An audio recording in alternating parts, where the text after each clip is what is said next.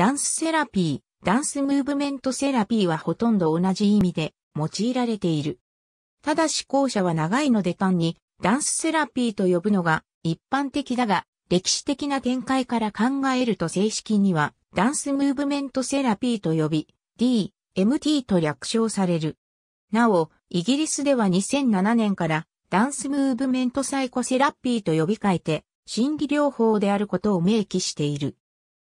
アフリカのダンスセラピーの様子スイスの心理療法士、ティナ・ケラー・ジェニーが分析心理学に動きやダンスなどを取り入れる治療を始めた。それ以来精神療法の分野で主要な要素になっている。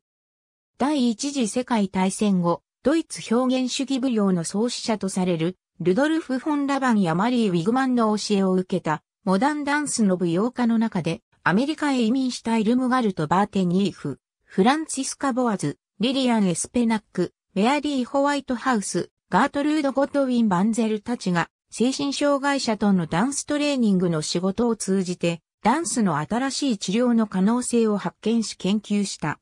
アメリカで始まったダンスムーブメントセラピーについては、アメリカダンスセラピー協会アドタ、アメリカンダンスセラピーアソシエーションに詳しい。モダンダンスの交流の中で、精神科閉鎖病棟などでの実践を通じて始まったが、ダンスということだけではなく広い意味での運動や動作や姿勢などの身体的要素を組み込んでいるため、ダンス、ムーブメントと並列表記している。必ずしも健康体操や運動療法には限定されず講義での心理療法の位置づけにあるため、州によっては医療分野のセラピスト資格とみなされる。1950年頃からティナ・ケラー・ジェニーはステージダンサーのトゥルーディスクープと後にアメリカダンスセラピー協会初代会長となるマリアン・チェイスと共に重度の精神障害を持つ人々にダンスのプラスの効果をテストをし、今日のダンスセラピー元となる療法の開発に貢献した。現在マリアン・チェイス、フランツィスカ・ボアズ、リリアン・エスペナック、メアリー・ホワイトハウス、トゥルーリスクープはダンスセラピーの母親と呼ばれている。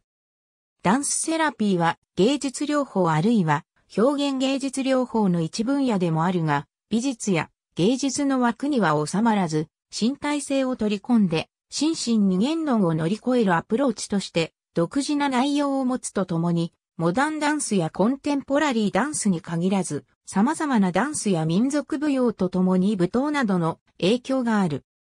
ダンスセラピーの国内団体である日本ダンスセラピー協会は学術的機関誌ダンスセラピー研究を発行するとともに認定ダンスセラピスト、アソシエイトセラピスト、ダンスセラピーリーダーという3種類の資格認定を実施している。